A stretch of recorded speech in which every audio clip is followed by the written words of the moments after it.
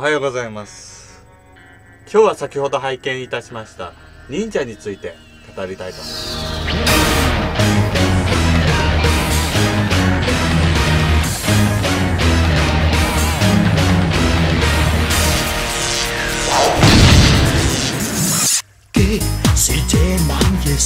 えー、ヤマハウ監督っていうのはも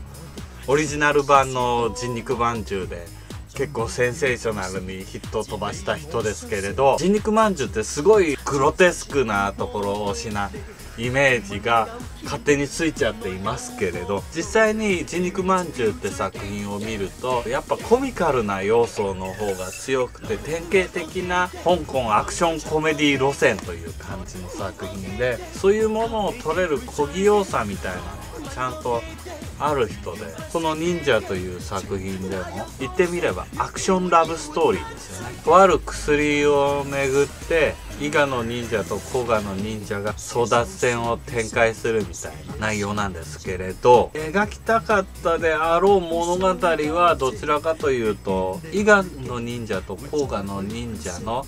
ラブストーリーなんですもともと伊賀甲賀忍者とか日本のものですけれどこの作品ほとんど日本人出てません。ラストブラッドとかイニシャル D とか向こうの人が日本人の役をやるっていうのは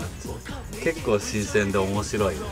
香港ならではの手作り感があるアクションで日本のものを見せてくれるっていう香港映画で忍者ってタイトルっていうことで期待するそのままの内容です。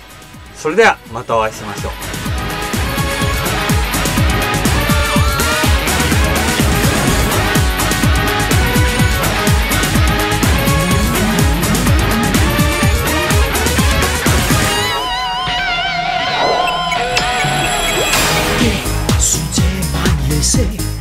day more.